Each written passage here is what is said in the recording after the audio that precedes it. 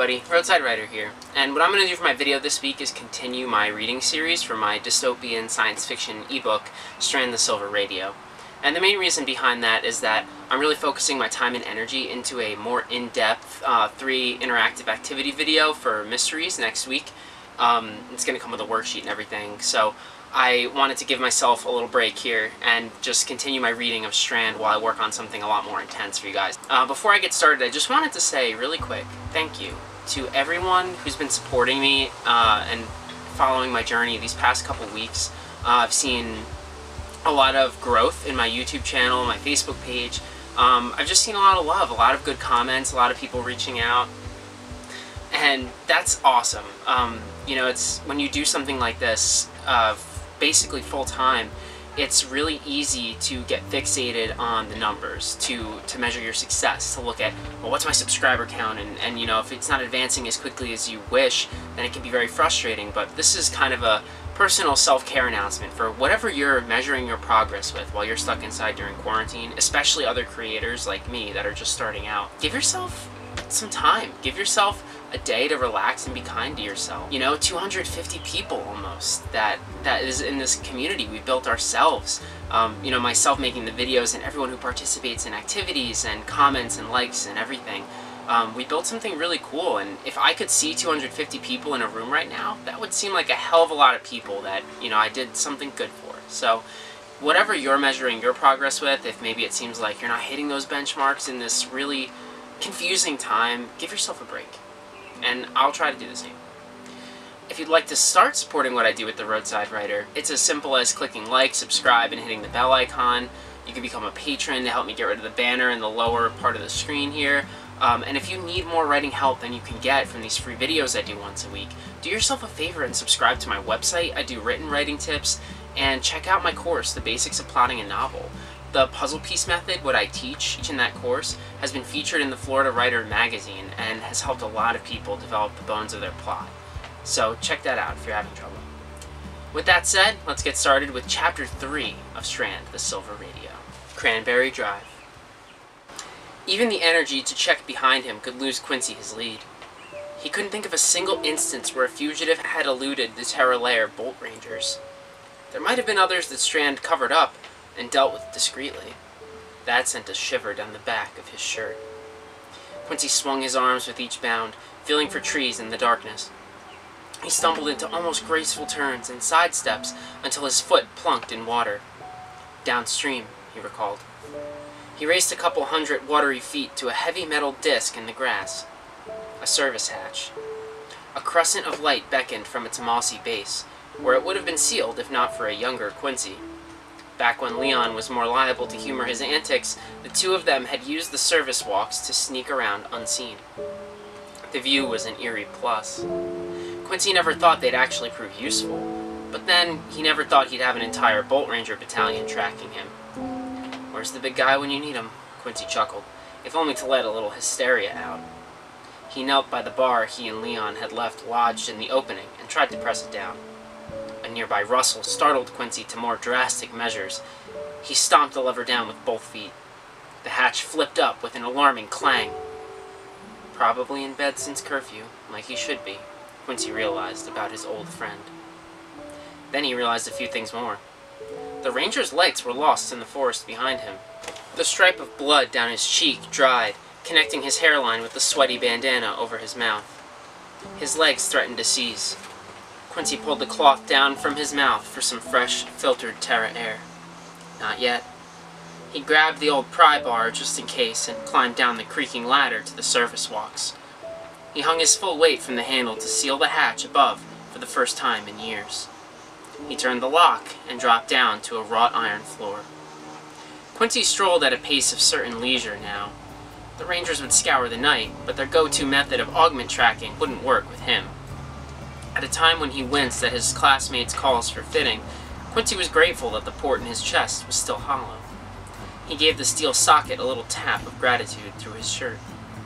Quincy knew the service walks would be empty. They hadn't been properly patrolled or maintained since he and Leon had discovered the malfunctioning hatch on their street. The world seemed so much bigger back then. Everything seemed to be closing in on Quincy now. Strand's great tower, the pressure to find his fate, and not least of all this suffocating, glass-paned catwalk.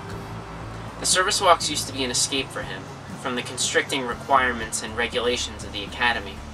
The view through reinforced glass filled him with wonder and inspiration when the depths below were an unfathomable fantasy. Now they were a threat, sharp as a dagger poking his spine. He hadn't come down here in three years, since he received his first failing A card. Every glance could be his future if something didn't give. He looked out on the sprawling landscape beyond the glass with a different kind of wonder now. A terrifying kind. A few thousand feet separated him from the savage wilderness of the nether layer. Mostly it was blackness.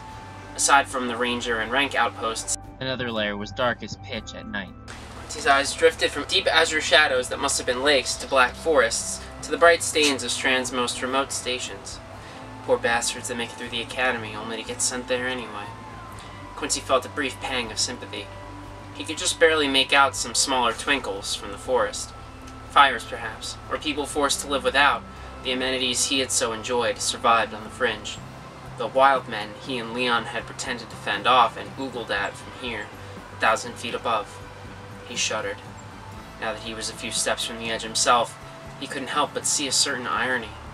The only part of the tower that touched the planet, the home the humans left behind to survive, reserved as an exile for unfit miscreants. Last stop, Quincy mumbled when he passed under a flickering sign that glowed Cranberry Drive. When he climbed the ladder and closed the hatch, he left thoughts of the nether layer where they belonged, below. If he was going to stay topside, he had to focus on Terra matters. The academy, getting fit, the stunt he, Jess, and Aaron had pulled tonight would buy him a little time at least. Wasn't sure if he bought into Aaron's aspirations of change just yet. Of course he could afford to believe. Aaron and his augmented mind were bound for the top already, the Ventralayer Labs. Let's just get home first, Quincy reminded himself. He was the only person on his street that night. With winter curfew in effect, people were out until the very last second running their errands, so to be alone in the violet night glow was a haunting novelty. Quincy rolled his feet, heel to toe, quiet but in no rush.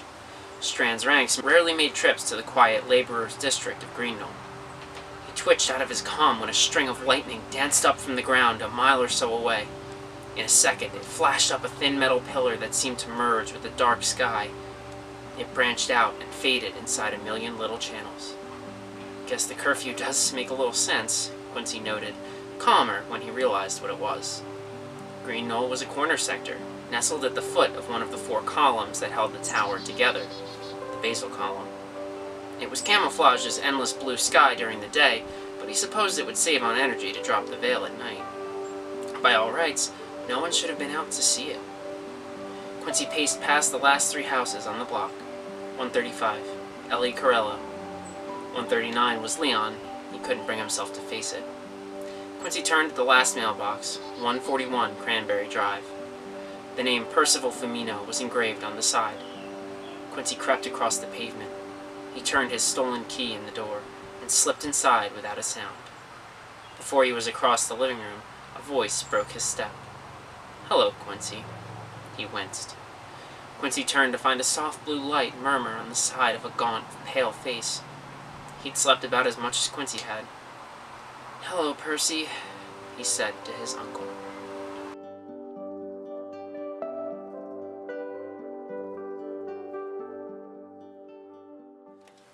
So we, we hit a kind of a turning point with this chapter here. We shifted a little bit from the intro action to more of a world building section. We get introduced to the nether layer for the first time, Quincy's future if he can't turn his act around, and we see that he does have a guardian, an uncle named Percy. So I hope you guys enjoyed that chapter, and I hope you're looking forward to getting to know Quincy even more and watching him evolve through this saga and his journey across the tower. Thank you guys so much for watching and listening. Um, I really appreciate all the lovely comments you guys have been leaving me about my book. Let me know what you thought of this chapter, what you want to know more about, what you're intrigued about. And if you didn't like it, tell me what you didn't like so much. Again, and if you want to support what I do with The Roadside Writer, remember to like, subscribe, and hit the bell icon. You can become a supporter for me on Patreon. Help me get rid of this banner, please.